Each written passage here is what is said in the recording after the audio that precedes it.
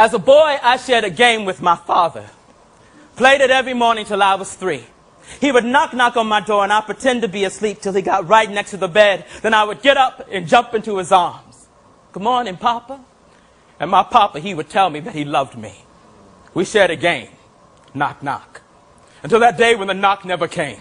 And my mama takes me on a ride past cornfields on this never-ending highway till we reach a place of high, rusty gates. A confused little boy, I enter the building carried in my mama's arms. Knock, knock. We reach a room of windows and brown faces. Behind one of the windows sits my father. I jump out of my mama's arms and run joyously towards my papa's, only to be confronted by this window. I knock, knock, trying to break through the glass, trying to get to my father. I knock, knock as my mama pulls me away before my papa even says a word. And for years he has never said a word. And so 25 years later, I write these words for the little boy in me who still awaits his papa's knock. Papa, come home because I miss you.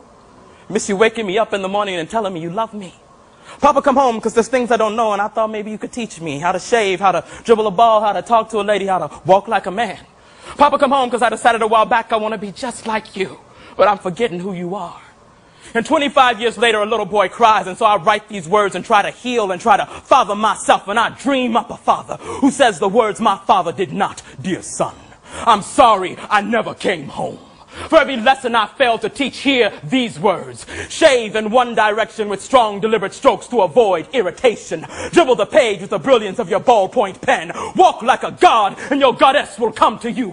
No longer will I be there to knock on your door, so you must learn to knock for yourself. Knock, knock down doors of racism and poverty that I could not. Knock, knock on doors of opportunity for the lost brilliance of the black men who crowd these cells. Knock, knock with diligence for the sake of your children. Knock, knock for me, for as long as you are free, these prison gates cannot contain my spirit the best of me still lives in you. Knock, knock with the knowledge that you are my son, but you are not my choices. Yes, we are our father's sons and daughters, but we are not their choices. For despite their absences, we are still here, still alive, still breathing with the power to change this world, one little boy and girl at a time. Knock, knock, who's there? We are.